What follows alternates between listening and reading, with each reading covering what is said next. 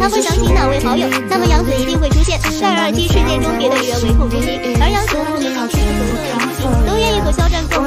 同面对、承担这一切。在不知道肖战是不是下一秒就会被全民禁退的时间段，杨紫还愿意公开声明肖战，这样的情谊真的动。事实上，肖战对于杨紫的的确确有点特殊。在二零二零微博之夜现场，肖战更是时时刻刻盯紧杨紫，生怕姊妹下一秒就被别人拐走，连摘口罩都要和姊妹眼神暗示，然后才一起摘。果然小情侣的心思，我们猜不透啊！在星光大赏现场，肖战在二二七事件后首次露面，一个人在红毯上的时候全程无笑容，看得出来战哥还是很紧张。肖战、杨紫两人有合唱的环节，在肖战上台前，杨紫更是三次回头寻找肖战的身影，而肖战看到杨紫的小举动后，立马笑开花，真的是让气氛一下子就开始甜蜜了。那么你磕到了肖战、杨子的 CP 了吗？欢迎在评论区留言。